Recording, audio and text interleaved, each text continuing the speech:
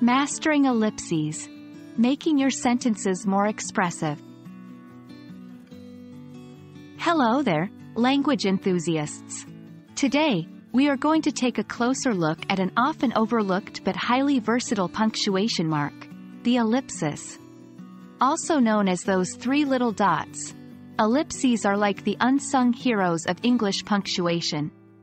Let's dive into the purpose of using ellipses and discover how they can add depth and subtlety to our writing.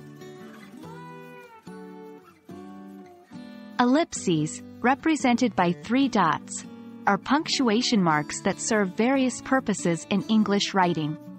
They can indicate an omission, create suspense, or denote a pause.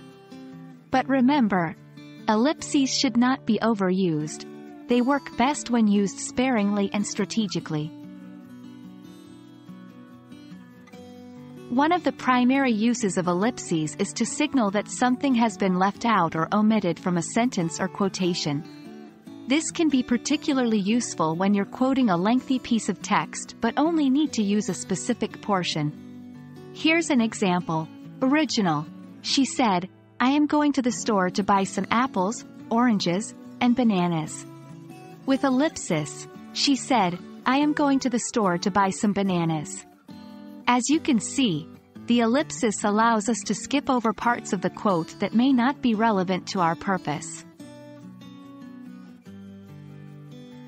A more creative use of ellipses is to create suspense or intrigue. Ellipses can add a touch of drama to your writing by leaving the reader hanging, anticipating what's to come. Consider this sentence. Slowly, she opened the door to the attic. See how the ellipsis at the end builds suspense? It's like a literary cliffhanger, urging the reader to continue to find out what happens next.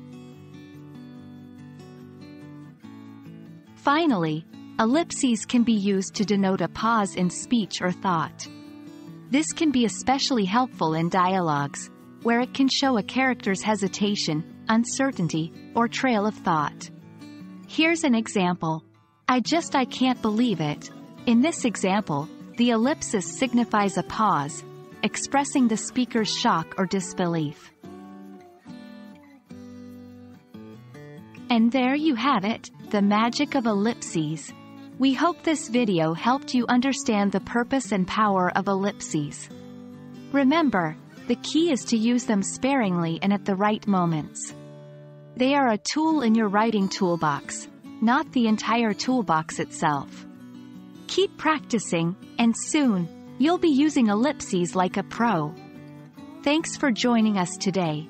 Until next time, happy writing.